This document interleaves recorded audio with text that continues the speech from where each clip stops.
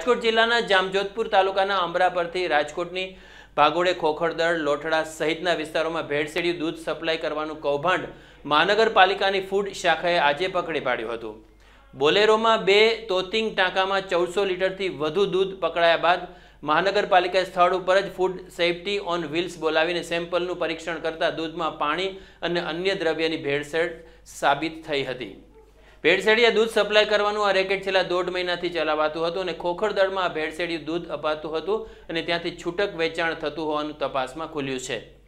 રાજકોટ મહાનગરપાલિકાની ફૂડ વિભાગે મળેલી બાતમીના આધારે મહાનગરપાલિકાની ટીમ બે દિવસથી વહેલી સવારના વોચ ગોઠવીને બેઠી હતી અને માલિકીના વાહનમાં દૂધને સપ્લાય કરતા કારાભાઈ, દેવાયતભાઈ મુછાળની પૂછપરછ કરતા તેઓ છેલ્લા દોઢ માસથી લોઠડા ગામમાં દૂધ સપ્લાય કરવા જતા હોવાનું પણ તેઓએ જણાવ્યું હતું.